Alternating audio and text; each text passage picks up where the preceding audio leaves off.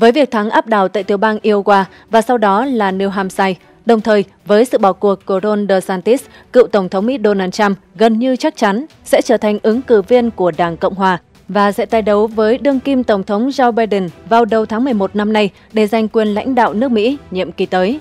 Liệu một kịch bản điên rồ nhất có thể xảy ra hay không? Tổng thống điều hành đất nước từ nhà giam. Chúng tôi đã có cuộc trò chuyện với giáo sư tiến sĩ Nguyễn Hữu Liêm, người từng dạy bộ môn triết học tại San Jose City College ở California của Mỹ về vấn đề này. Câu hỏi của phóng viên, cũng khoảng thời gian này, 4 năm trước, khi bàn về cuộc đua chiếc ghế Tổng thống Mỹ giữa ông Biden và ông Trump, giáo sư nói ông thích ông Biden thắng cử hơn và giáo sư đã cá với một số bạn bè là ông Biden sẽ thắng. Tháng 11 năm đó, giáo sư thắng cực thật. Vậy năm nay, giáo sư ủng hộ ai, dự đoán ai sẽ là Tổng thống thứ 47 của nước Mỹ? Giáo sư tiến sĩ Nguyễn Hữu Liêm trả lời, Năm nay, năm 2024, tôi không ủng hộ ứng cử viên Tổng thống Mỹ nào. Nhiều lý do để tôi có lập trường như thế. Có thể tôi sẽ không tham dự bỏ phiếu bầu cử trong suốt năm 2024 ở nhiều cấp từ trung ương đến địa phương. Với tình hình như hiện nay, ngoại trừ những điều bất ngờ xảy ra, tôi nghĩ rằng cựu Tổng thống Donald Trump có cơ hội tái đắc cử khá cao. Tôi không đánh cược lần này vì không cảm thấy hào hứng với cả hai ứng cử viên Tổng thống Trump và Biden. Câu hỏi của phóng viên Đến giờ này thì không còn nghi ngờ gì nữa, ông Donald Trump sẽ là ứng cử viên của Đảng Cộng Hòa tại cuộc bầu cử Tổng thống Mỹ vào tháng 11 tới, bất chấp những rắc rối về mặt pháp lý.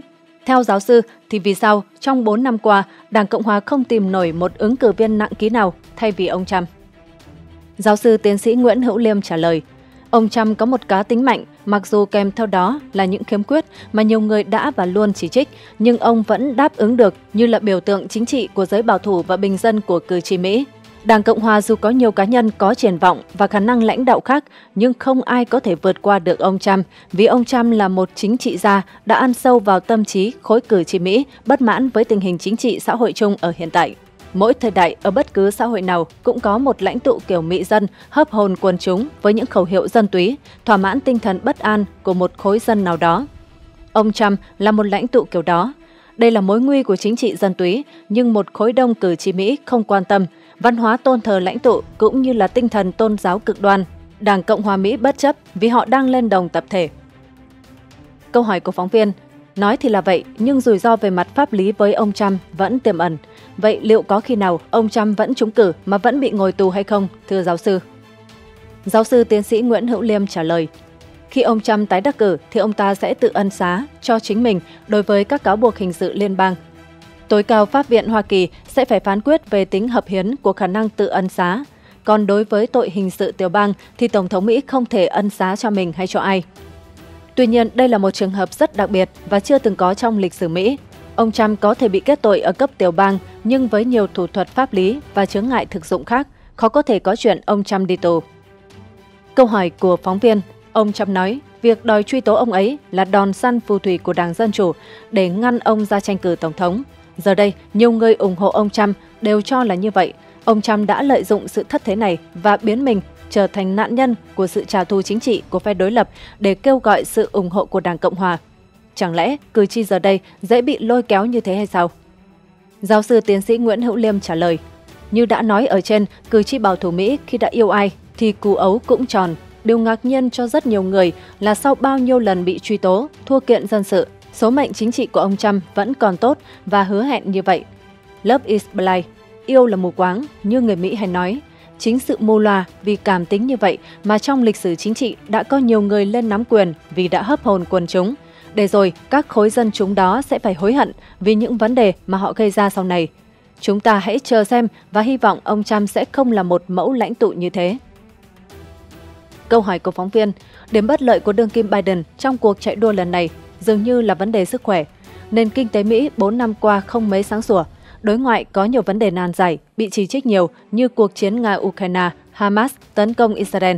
Ý kiến của giáo sư về vấn đề này như thế nào? Giáo sư tiến sĩ Nguyễn Hữu Liêm trả lời, Ông Biden có nhiều điểm bất lợi khi ra tái tranh cử năm nay, từ kinh tế, di dân bất hợp pháp, tuổi tác đến chiến tranh Trung Đông đều là những điểm trừ cho ông. Rất đông cử tri giới trẻ, cấp tiến đang giận dữ với ông Biden vì ủng hộ Do Thái quá mức trong cuộc chiến chống Hamas. Tuy nhiên, Biden là nói theo kiểu Mỹ, cái xấu ít hơn so với cái xấu lớn hơn.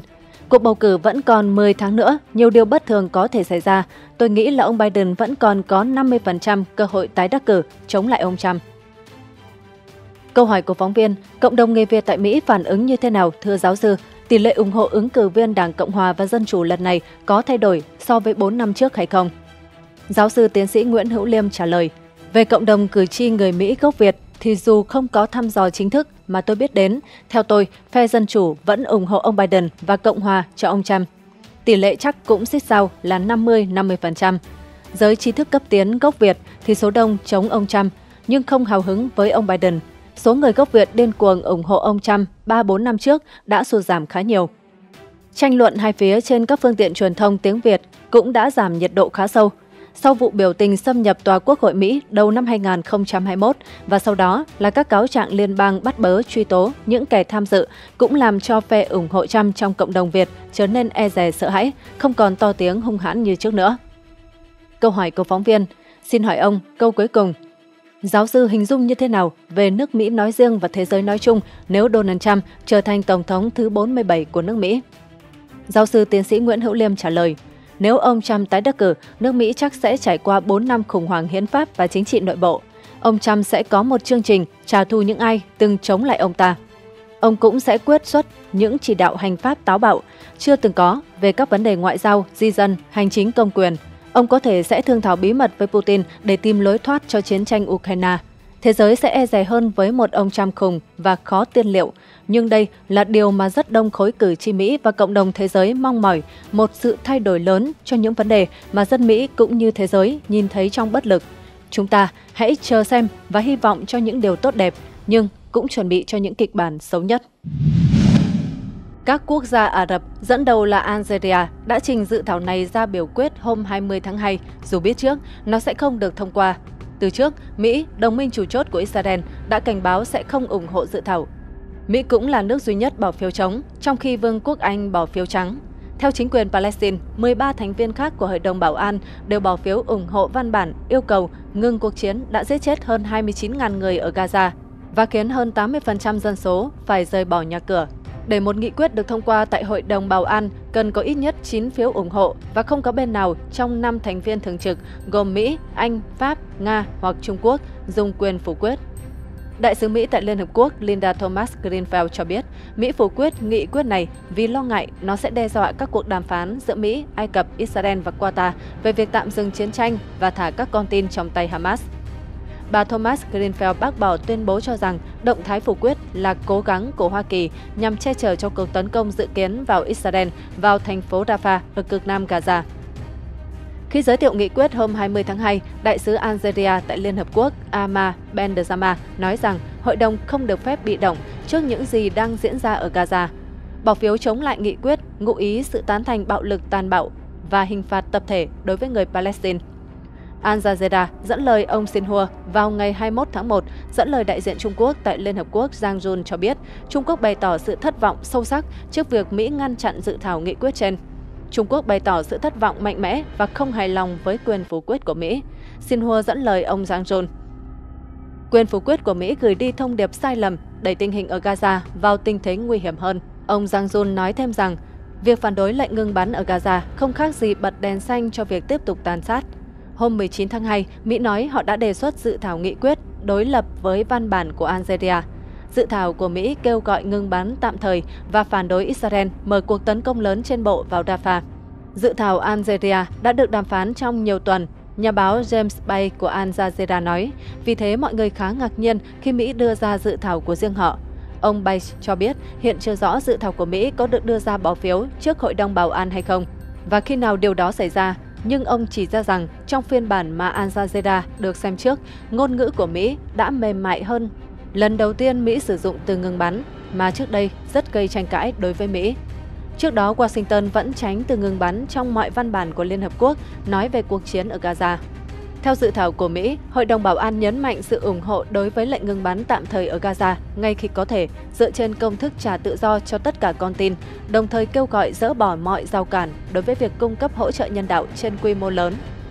Trong khi đó, nghị quyết do Al Jazeera soạn thảo kêu gọi ngừng bắn nhân đạo ngay lập tức căn cứ vào lệnh do Tòa Công lý Quốc tế, gọi tắt là ECJ, đưa ra vào tháng trước. lệnh của ECJ buộc Israel phải thực hiện các biện pháp ngăn chặn hành vi diệt chủng tại Gaza, đồng thời cũng nhằm yêu cầu Hamas lập tức thả toàn bộ con tin vô điều kiện. Washington thường bảo vệ Israel tại Liên Hợp Quốc. Trước đó, Mỹ đã phủ quyết hai nghị quyết khác của Hội đồng Bảo an liên quan cuộc chiến Gaza bùng nổ từ ngày 7 tháng 10 năm 2023.